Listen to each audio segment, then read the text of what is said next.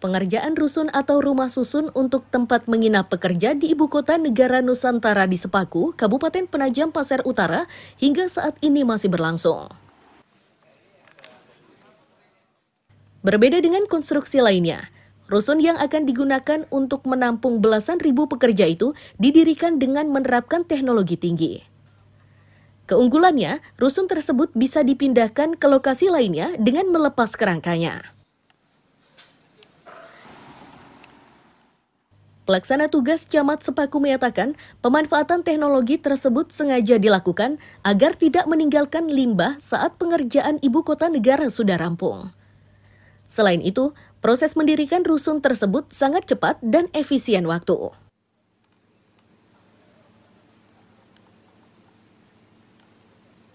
Ya, eh, yang saya ketahui bahwa sistem modular ya, bahkan bisa dibongkar pasang lah seperti itu ada yang saya ketahui itu ada 22 tower yang akan dibangun untuk kapasitas 17.000 eh, tenaga kerja. Nah ini sudah mulai uh, bisa disaksikan bersama ya tadi.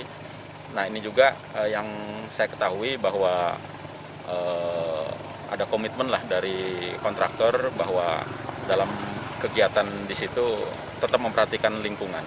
Ya.